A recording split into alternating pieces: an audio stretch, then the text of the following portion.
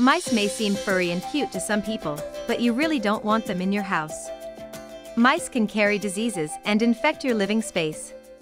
The thought of mice running around your house is not a pleasant thing to think about. In this video we will show you a natural solution to taking care of a mice problem by repelling them and killing them. And the best thing is you probably going to have all the ingredients you need in your home already. So you are going to need 2 cookies, plain biscuit style, that will be crushed into a powder. 2 teaspoons of baking powder. And 1 teaspoon of Vicks VapoRub. To make this natural rodent pesticide, you will begin by crushing your two cookies into a bowl. You can use a mortar and pestle if you wish, or simply use your hands. Then add your baking powder and Vicks VapoRub into the bowl as well.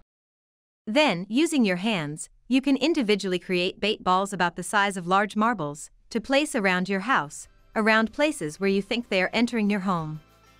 This will soon take care of the rodent problem in your home or garden, as when they ingest the bait balls they will scurry off and die. This is a super cheap way of dealing with your mice issue, and will also work on other rodents like rats as well. I hope you have enjoyed this video. If you have, please subscribe to this YouTube channel, and don't forget to give this video the thumbs up. And I'm sure you're going to enjoy this next video on how to use baking soda to kill pests. Thanks for watching and bye for now.